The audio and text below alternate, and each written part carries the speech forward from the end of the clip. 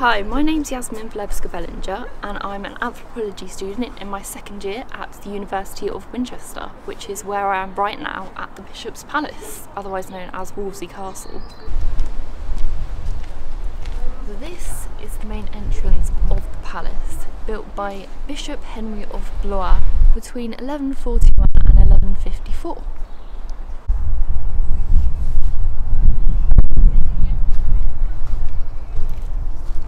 Wyman's Tower, built in 1141 after the siege by King Stephen against Matilda in Winchester.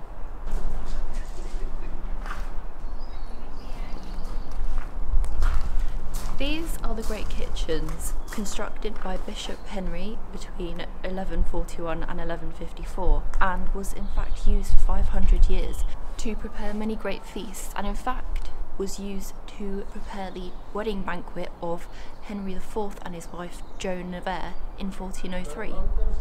This is the treasury and also the place in which most bishops kept their money, earned from the vast land holdings that they held.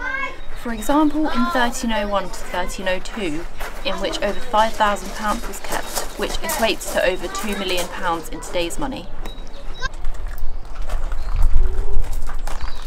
As you can clearly see, the gatehouse was constructed in 1158 and in 1376 became the treasury and the treasurer's abode. This is the latrine and also one of the earliest examples of medieval water piping. The palace was lived in for the next 500 years by subsequent bishops until the 1680s, where it was abandoned in favour of a new palace built by Bishop George Morley.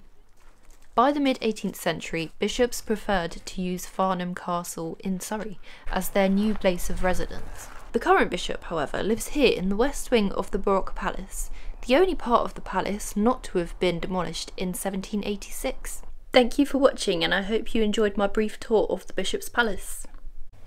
Sincerely, I thank you if you put yourself through the pain of watching that whole thing.